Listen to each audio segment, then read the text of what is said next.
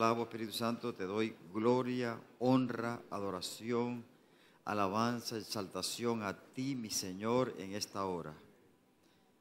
Recibe nuestra adoración, recibe nuestra alabanza, recibe nuestra exaltación hoy, mi Señor. Recíbela, Padre, recíbela, mi Dios. Alabado sea tu nombre para siempre. Para siempre. Ven a este lugar. Espíritu Santo, ven a este lugar. Muévete con poder. Señor, gracias por la palabra. Háblanos en esta hora en el nombre de Jesús. Glorifícate. Exáltate, Dios, en esta hora. Ven a este lugar, Espíritu Santo. Entronízate en este lugar. Paseate en este lugar, Señor. Cada silla, en cada lugar, en cada rincón, cada pasillo. Glorifícate, Señor, nuestras vidas. Te damos el lugar que te pertenece en este lugar. Te damos el lugar, Señor, que tú mereces en esta iglesia. Tú eres el centro de nuestra adoración, de nuestra alabanza, de nuestra exaltación. Espíritu Santo, te adoramos, te exaltamos, te damos honor y gloria y honra y alabanza y adoración por los siglos de los siglos. Gracias, mi Señor. Gracias por tu presencia. En el nombre de Jesús. Amén. Y amén. Dale fuerte el aplauso al Espíritu Santo. Amén. Bueno, hermano, vamos a ver hoy un tema. Yo sé que le va a servir muchísimo para todo este año. La fe que rompe los imposibles. Vamos a ir a Habacuc capítulo 2, versículo 4, que dice. Vamos a leerlo todos a una sola voz. Habacuc 2.4. A ver, todos juntos. ¿Cómo dice? He aquí que aquel cuya alma no es recta se enorgullece. Mas el justo qué? Otra vez lo último. Mas el justo por su fe vivirá. Por su fe, no por la fe. Porque uno dice, eh, eh, lo justo por la fe vivirá. No es por la fe, es por su fe es por mi fe. Porque la fe, hermanos amados, es individual. Usted tiene un tipo de fe, yo tengo otra. ¿Verdad? Aquí el vecino suyo tiene otro tipo de fe. ¿Verdad? Y, te quiero decir hoy, hermano amado, que de medida de fe que tengamos nos permite actuar en lo sobrenatural, según la medida de fe que tengamos. Ahora, la fe no viene por casualidad. El día que usted aceptó a Cristo en su corazón, usted tiene una medida de fe. ¿Cuántos tienen fe aquí hoy en el nombre de Jesús? Usted tiene una medida de fe y te quiero decir hoy en el nombre de Jesús, hermanos amados, que esa medida de fe, si usted no la tiene, o cree que no la tiene, es porque no la ha descubierto. Pero hoy usted va a descubrir que tiene una fe poderosa para cambiar todo durante este año. ¿Cuántos lo creen en el nombre de Jesús? Este año todo va a cambiar en el nombre de Jesús.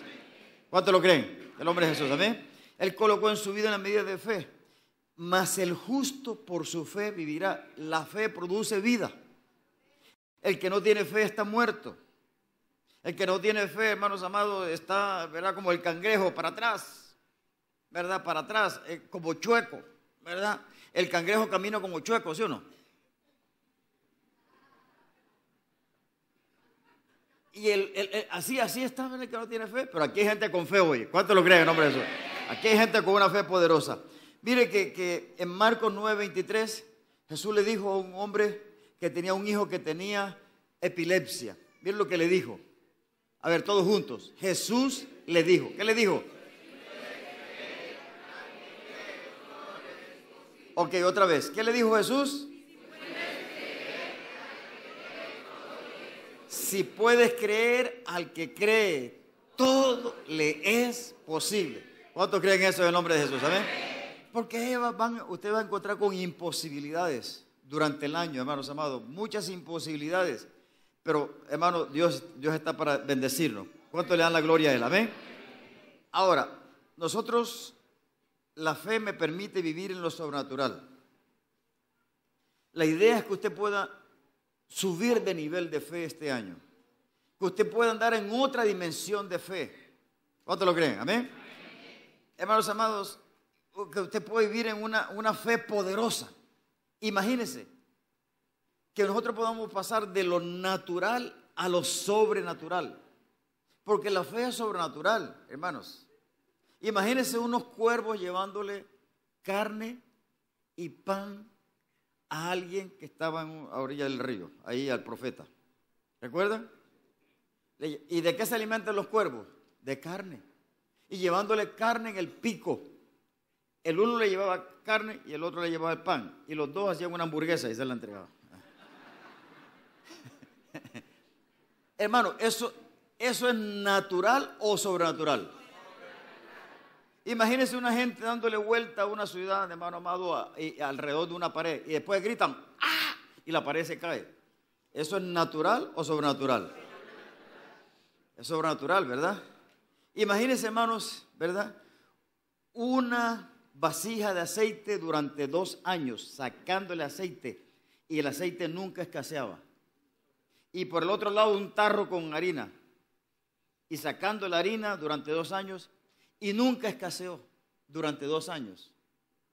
Mejor dicho, esa gente comió arepa venteada. ¿Sí o no? O arepa, arepa venteada, hermano. Imagínense, durante dos años saque el aceite, saque, hermanos amados, ¿es natural o sobrenatural? Imagínense un viejito de 100 años teniendo un hijito con una viejita de 90. Eso es más sobrenatural. Eso todavía es más sobrenatural. Eso, eso es natural o sobrenatural.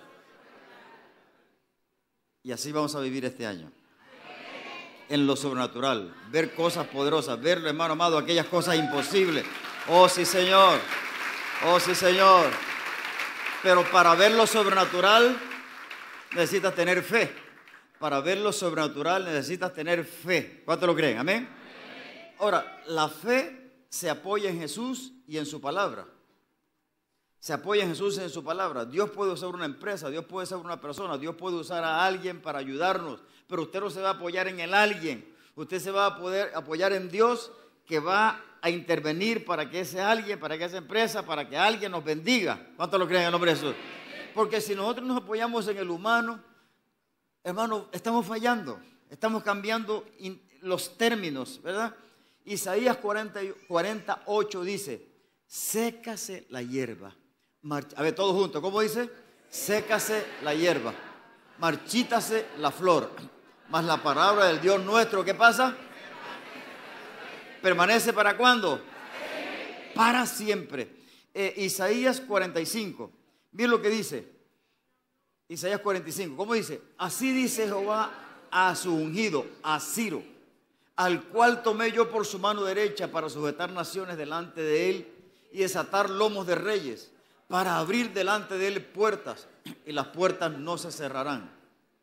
A ver, todos juntos, yo iré.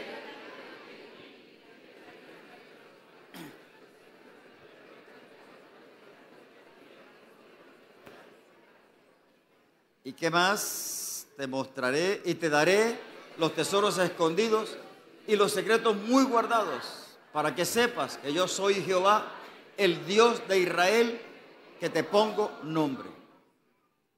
Por amor de mi siervo Jacob y de Israel, mi, escogido, te llamé por tu nombre, te puse sobrenombre, aunque no me conociste. Yo soy Jehová y ninguno más hay no hay Dios fuera de mí, yo te ceñiré aunque tú no me conociste. Usted dirá, ¿y eso por qué? Porque eh, lo voy a explicar. Ciro, antes de nacer, escuche bien, 150 años antes, Isaías escribió eso. Hasta le había puesto el nombre a Ciro. Digo, este hombre que no me conoce, lo voy a usar para abrir y cerrar puertas. Yo te quiero decir hoy, hermanos, cosas que no entiendes, cosas que no sabes, Dios te las va a revelar este año. Y te quiero decir algo en nombre de Jesús. Cosas que Dios te dijo hace 10 años, este año se van a cumplir en el nombre de Jesús. Cosas que Dios te reveló hace 5 años se cumplirán este año en el nombre de Jesús. Este será un año de cumplimiento de promesa. Dele fuerte el aplauso al Rey. Amén. Sí, Señor. Levante su mano conmigo. Levante su mano porque hoy quiero dar una, cosa profética aquí hoy, hermano. Decreto hoy en el nombre de Jesús. Yo te digo hoy. Usted, déjeme que yo le diga. Decreto y profetizo hoy que este año 2019 será de cosas nuevas. Será de algo poderoso. Y yo te digo hoy, este año tú te vas a levantar en fe. Te vas a levantar en fe. Y lo que Dios te dijo hace 10 años, hace 5 años, este año se va a cumplir. En el primer semestre de año, muchas de las cosas que Dios te prometió se van a cumplir en el nombre de Jesús. Verás la gloria de Dios, verás lo que Dios va a hacer contigo. Alabado sea Dios en el nombre de Jesús. ¿Cuánto lo creen en el nombre de Jesús? Oh, fuerte el aplauso al Rey. Aleluya. Bendito sea Dios. Fuerte el aplauso al Rey. A su nombre. A su nombre. Amén. Israel estuvo cautivo por 430 años. Durante esos 430 años el pueblo se volvió esclavo, pobre y enfermo. En el tiempo de Malaquías, yo que algunos ni entenderán que lo estoy diciendo, pero bueno, de todas maneras lo voy a decir. En el tiempo de Malaquías, que fue el último profeta del Antiguo Testamento, hasta Mateo, que es el primer libro del Nuevo Testamento, allí hubo un tiempo de oscuridad donde el pueblo se volvió igualmente esclavo, pobre y enfermo, ahora por otro imperio. Primero fue por un imperio, el imperio egipcio, y ahora por el imperio romano. El pueblo se volvió esclavo, pobre y enfermo hasta que llegó Jesús para darles libertad. Y yo te digo hoy en el nombre de Jesús, tú vas a tener fe para salir de la pobreza, de la esclavitud y de la enfermedad. ¿Cuánto lo creen en el nombre de Jesús? Así es, hermano, porque la fe permitirá que tú veas milagros en tu vida. Vas a la fe, escúchame bien, Tú tendrás fe para ver milagros en tu vida. ¿Cuántos lo creen en el nombre de Jesús? Tú vas a tener fe, hermano amado, para ver, para levantarte en victoria. ¿Cuántos lo creen? Amén. Ahora vamos a ver una de esas personas de fe, el padre de la fe, que fue, que fue quién? ¿Abraham qué? Abraham, solamente Abraham, no le ponga apellido. Ok, Abraham, el padre de la fe, Vamos a ir a Génesis 18. Génesis 18 que dice, después le apareció Jehová en el encinar de Manre, estando él sentado a la puerta de su tienda en el calor del día. Escúcheme bien, cómo se le presentó Dios a Abraham. Y alzó sus ojos y miró, y aquí tres varones que estaban junto a él. Y cuando los vio, salió corriendo de la puerta de su tienda a recibirlos y se postró en tierra. Y dijo, Señor, si ahora he hallado gracia en tus ojos, te ruego que no pases de tu siervo. Que se traiga ahora un poco de agua y lavad vuestros pies y recostaos debajo de un árbol. Y traeré un bocado de pan y sustentad vuestro corazón y después pasaréis, pues por eso habéis pasado cerca de vuestro siervo. Y ellos dijeron, haz así como has dicho. Entonces Abraham fue deprisa a la tienda de Sara y le dijo, Toma pronto tres medidas de flor de harina y amasa y haz panes cocidos debajo del rescoldo. Y corrió Abraham a las vacas y tomó un becerro tierno y bueno y lo dio al criado y éste se dio prisa a prepararlo. Tomó también mantequilla y leche y el becerro que había preparado y lo puso delante de ellos y él se estuvo con ellos debajo del árbol y comieron. Y le dijeron, ¿dónde está Sara tu mujer? Y él respondió, aquí en la tienda. Entonces dijo, de cierto volveré a ti según el tiempo de la vida de aquí, que Sara tu mujer tendrá un hijo. Y Sara escuchaba a la puerta de la tienda que estaba detrás de él. Y Abraham y Sara eran viejos, de edad avanzada, y a Sara le había cesado ya la costumbre de las mujeres. Se rió pues Sara entre sí diciendo, después que he envejecido, tendré deleite siendo también mi Señor ya viejo. Entonces Jehová dijo a Abraham, ponme el otro, el otro, el anterior.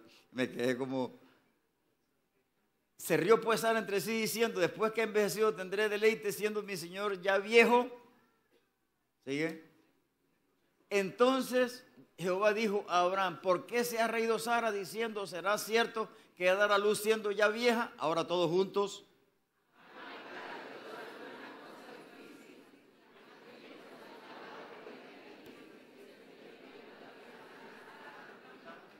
Ok, aquí vemos una historia, hermanos amados, que nos enseña cómo vive una persona de fe. Una persona de fe. Una persona de fe, escúcheme, este año, hermano, las bendiciones, escúcheme bien en el nombre de Jesús. ¿Cuántos reciben esto? Amén. Las bendiciones te buscarán. Las bendiciones te buscarán. ¿Cuántos lo creen? Mire, un día a este hombre de fe Dios le dijo, te voy a engrandecer. E, e, él le dio esa promesa, te voy a engrandecer. Yo te quiero decir hoy, no será coincidencia que tú seas el mejor vecino de la cuadra. No será coincidencia que tu carro sea el mejor de la cuadra. ¿Cuánto lo creen en el nombre de Jesús? Amén. No será coincidencia que tu casa sea la más hermosa. ¿Cuánto lo creen en el nombre de Jesús? No será coincidencia que tus hijos sean los mejores estudiantes de la universidad o del colegio. ¿Cuánto lo creen en el nombre de Jesús? No será coincidencia, hermanos amados, que te busquen porque tú tienes una gracia especial. ¿Usted lo cree en el nombre de Jesús? ¿Usted lo cree que Dios te va a engrandecer en el nombre de Jesús? Otro día, hermano, Dios encontró a Abraham ahí y le dijo, súbete a ese monte y mira hacia el norte, hacia el sur, hacia el oriente, hacia el occidente, hasta donde alcancen tus ojos. Todo eso es tuyo. Y sabe, Abraham no le estaba pidiendo tierras a Dios. Él no le estaba diciendo, Señor, dame una tierrita. Él no estaba diciéndole eso. Él no le estaba diciendo, Señor, dame una cherrita, una cherrita, una cherrita, por favor. Dígale una cherrita, una cherrita bien buena, Padre. Yo voy a sembrar, Padre, en nombre de... No, ¿es cierto que no? Bueno, también se lo hubiera podido decir, yo quiero una tierra, una tierra para sembrar. Bueno, de cualquier manera, él no estaba pidiéndole nada. Pero Dios le dio tierras. Le dio, hermanos amados, lo que no le estaba pidiendo. Yo te quiero decir hoy algo que en el fondo de tu corazón tú tienes allá, que tú quieres y tú anhelas. Dios te lo va a conceder. ¿Cuánto lo creen en el nombre de Jesús? ¿Cuánto creen eso? Oh, sí, Señor. Sí, Señor. Así es.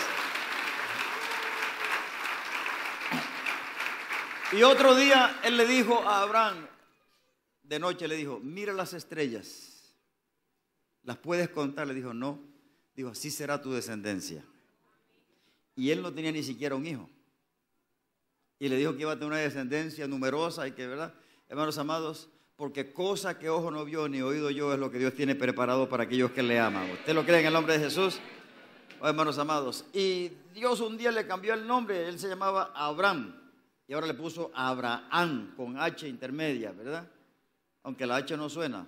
No, pero sí suena. Entonces, Abraham padre de multitudes. A Sara le cambió el nombre, en vez de Sarai, la llamó Sara, mujer de multitudes. Y eso cambió el destino de su vida. Y yo te digo hoy en el nombre de Jesús, tu destino tiene que cambiar este año en el nombre de Jesús. Porque Dios tiene un propósito poderoso para tu vida en el nombre de Jesús. Dios tiene un propósito grande para ti en el nombre de Jesús. ¿Cuántos lo creen en el nombre de Jesús? Amén. Mire, las bendiciones lo buscaban de tal manera que un día él fue a Egipto y el faraón vio a la mujer, a Sara, le dijo, no, este es para mí. Y se la llevó para, su, para, para, el palacio. Y cuando estaba ahí en la noche que la cosa, Dios le dijo, ni la toques papá porque te mueres. Le dijo al faraón. Y sabe que le dijo, no, toma tu mujer y lárguese de aquí, hermano, pero además de eso le voy a dar una dote, camellos, oro, plata y oro y largo, hermano, váyase. No estaba buscando la bendición y ahí, ahí Dios se la entregó. Y así será. Tú no lo vas a buscar, te llegará. Te llegará tu bendición. ¿Cuánto lo creen en el nombre de Jesús? Yo creo firmemente, hermano, que algo va a pasar en el nombre de Jesús. Esto, es una cosa profética para tu vida, hermano. Oh, bendito sea Dios. Sí, Señor. Levanta su mano conmigo y diga conmigo, Señor, levántame. Llévame hoy y durante este año a nuevos niveles de bendición.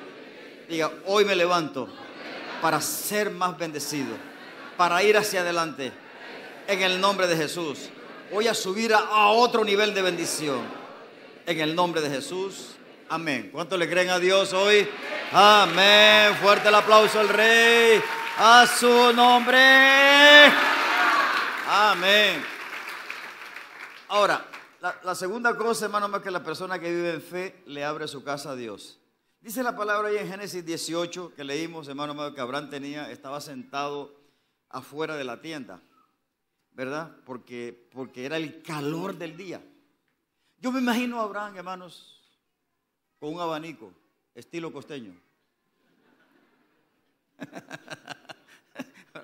hay, hay gente que se enoja, pero estilo costeño. ¿verdad? Ah, uy, qué calor, calor. Y como es calor es que está haciendo calor, pero allá es calor. Eso aquí en el de estado aquí es frío. Para los calores que hacen en Medio Oriente. ¿Sí o no? El hermano estaba con su abanico ahí, Coca-Cola bien fría. no. estaba ahí el Abraham, hermano. Cuando dice la Biblia que venían tres hombres, eran tres ángeles. Dios se presentó ahí en tres personas. Eso lo dice ahí la Biblia. Se le presentó y, Abraham, hermanos, fue hacia ellos y le dijo, señores, vengan. Se arrodilló y le dijo, vengan, pasen a mi casa. Les tengo agua para lavar los pies. Vengan y aquí se van a lavar, los pies. Él no los ignoró. Hermano, quédense en mi casa. Hermano, este año Dios se va a presentar, yo no sé cómo. De pronto en un sueño Dios te va a hablar. ¿Cuánto creen en el nombre de Jesús? O de pronto a través de alguien Dios va a hablar, o algo va a pasar en tu casa. Los que, los que tienen una casa de oración, que este año imagino que mucha gente aquí va a abrir su casa, es una casa que ni la usan casi porque van del trabajo a la, del trabajo a la casa, pero a dormir, y durante el día nunca usan la casa. Un mueble, hermano, se van a, se van a, de, de tanto, de no usarlo, se van a acabar. Porque lo que no se usa acaba también, ¿no? Uy, se acaba y muy acabado. Ok, muy bien. Entonces, eh, eh, yo no sé cómo Dios se va a presentar, pero Dios se va a presentar en tu casa. Dios va a hacer algo. ¿Cuánto lo creen en el nombre de Jesús?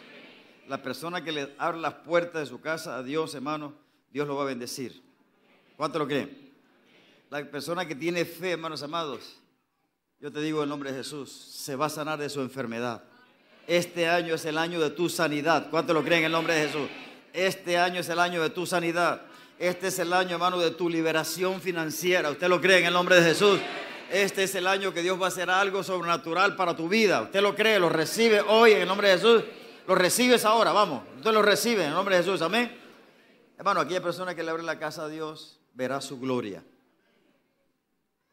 La tercera cosa que tiene un hombre que vive en fe es que le da a Dios lo mejor.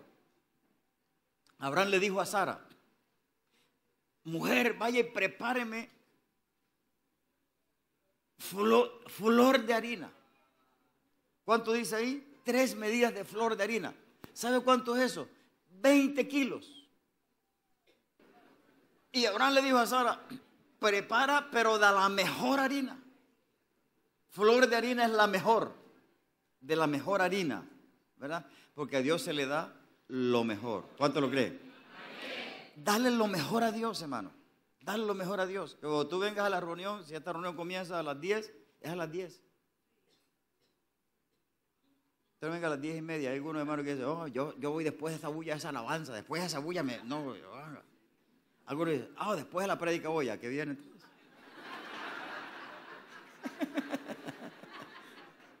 y hay algunos más campeones después de la ofrenda. Para allá recogió la ofrenda, yo entro. Aleluya. Y el bueno que son espirituales. Aleluya. Aleluya. Gloria a Dios. Tú le vas a dar a Dios lo mejor. Si usted va a venir a la iglesia, lo mejor. Si usted va a venir al encuentro, vaya al encuentro y hagan todo su proceso. Abra su casa, que este sea un año de excelencia en todo para Dios. ¿Cuánto lo creen? Amén que sea un año de lo excelente. Sea excelente en todo lo que hace. Usted hace un trabajo excelente. Usted es panadero, que es un panadero excelente. Que usted es carpintero, un carpintero excelente y cumplido. Porque los carpinteros incumplidos sí son terribles. Pero aquí, aquí me encontré un hombre aquí en la iglesia que nos hace trabajos. Es el más cumplido que yo he visto en todo tiempo. El hombre dice, el día que sea, ese día lo traigo, un día antes. Pero tenía otro hermano que decía, se lo traigo tal día. Hay uno que me entregó un trabajo después de un año. Después de un año, imagínense. ¿Quién lo va a contratar así? Pero usted va a hacer, ¿qué va a hacer usted? ¿Cómo va a ser usted este año? Deje su mano arriba. Hoy te bendigo, pueblo de Dios. En el nombre de Jesús, levante las manos como si fuera a recibir algo. Ábrelas. Alabado sea Dios. Hoy estas manos que se levantan, Señor, para recibir, son las mismas que se abren para dar. Yo bendigo a este pueblo. Y declaro a este pueblo bendito y lo declaro próspero en todo, en el nombre de Jesús. Yo declaro que este es un pueblo próspero, que aquí no habrá nadie que le haga falta nada. Porque esto es una iglesia de bendición y aquí la gente que viene aquí es una iglesia de bendición en el nombre de Jesús. Y le vamos a dar a Dios lo mejor. Le vamos a dar a Dios lo mejor en el nombre de Jesús. Hoy recibimos esa bendición. Recibimos esa bendición y declaro que todo lo que hagan tus manos será prosperado y será bendecido. Estas manos que se levantan hoy son manos para bendecir en el nombre de Jesús. ¿Usted lo cree en el nombre de Jesús? Amén. Dele fuerte el aplauso entonces con esas manos también aplauden a Dios. Amén. Gloria a Dios. Sí, Señor. Amén.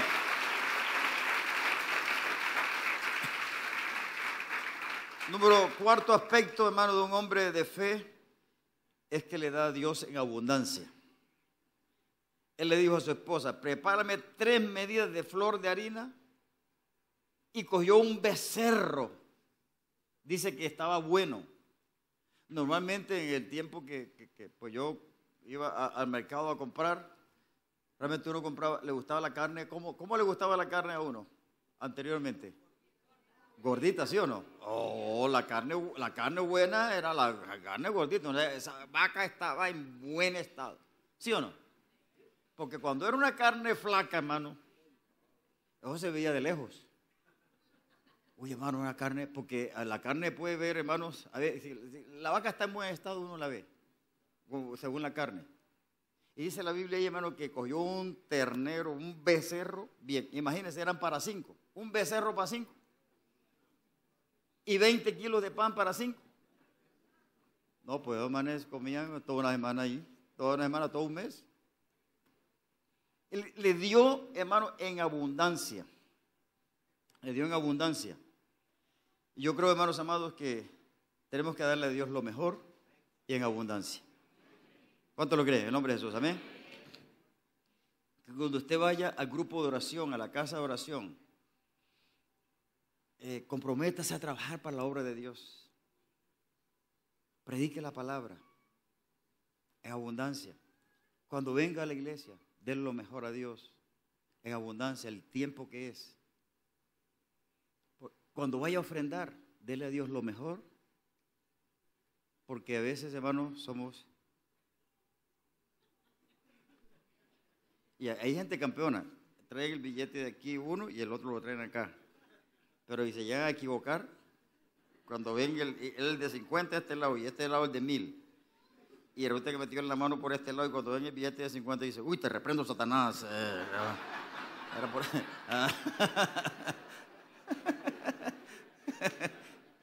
le vas a dar a Dios lo mejor y en abundancia. ¿Cuánto lo cree?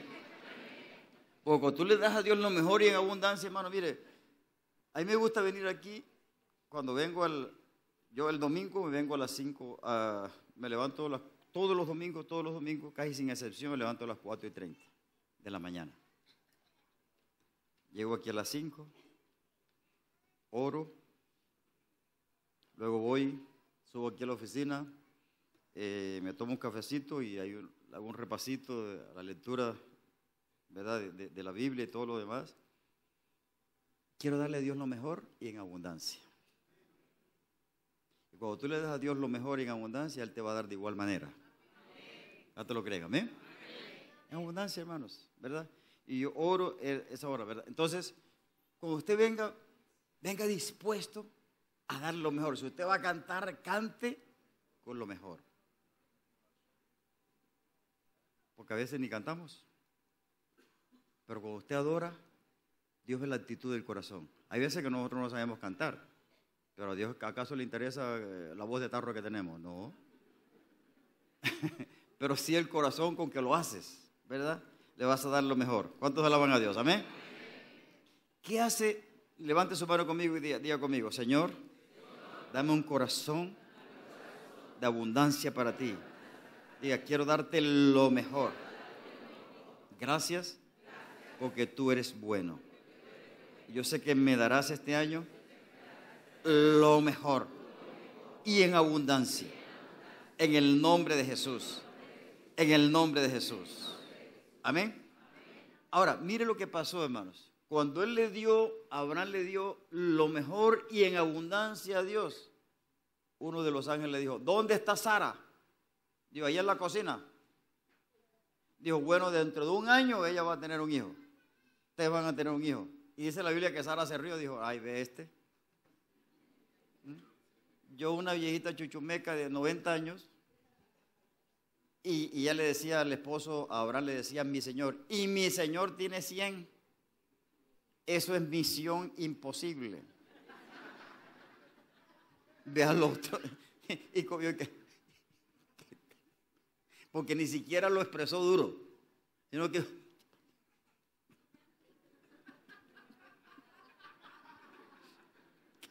Y, el ángel le dijo a Abraham, ¿y por qué se rió Sara? Y la otra dijo, yo no me he reído. Imagínese una señora de 90 años embarazada. Es un crimen. es un crimen, hermano. ¿Sí o no? ¿Con qué va a amamantar al bebé? No hay nada, la ley de gravedad es terrible. ¿Con qué la va a alimentar? No había nada, hermano. Pero sin embargo, ¿qué le dijo, qué le dijo Dios a Sara? Cuando después, ¿cuál fue el texto principal allí? ¿Hay algo difícil para Dios? ¿Habrá algo difícil para Dios? Yo no sé cuántas cosas a usted les parecen imposibles. Yo no sé cuántas cosas usted ha pensado, no, yo de esas sí no salgo, esa sí no me salva es nadie. Ah, si no me hemos hecho eso, así igual terrible, porque ahí sí, hermano, siempre tienes que pensar en este texto. Yo te lo hago así jocosamente para que usted lo entienda. Pero hermanos, eso era imposible. Pero Dios le dijo a través del ángel, ¿hay algo difícil para Dios? ¿Será que hay algo difícil para Dios que Dios no te puede sacar de esa deuda? ¿Será que Dios no te puede sacar de esa situación? ¿Será que Dios no puede sacar a ese hijo de la droga? ¿Será que Dios no puede sanar esa enfermedad? ¿Será que Dios no puede levantarte a otro nivel espiritual en el nombre de Jesús? ¿Cuánto lo creen en el nombre de Jesús? ¿Será que Dios no puede hacer lo que tiene que hacer contigo? No, dele fuerte el aplauso, así es. En el nombre de Jesús.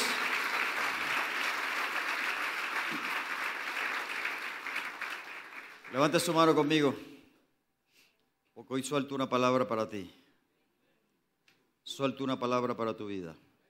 En el nombre de Jesús.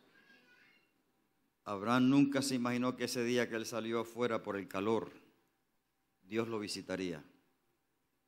Y tú no te imaginas lo que Dios hará contigo este año. Dale gracias a Dios por su visitación y dile gracias por tu visitación. Gracias por tu presencia, gracias por tu espíritu. En el nombre de Jesús.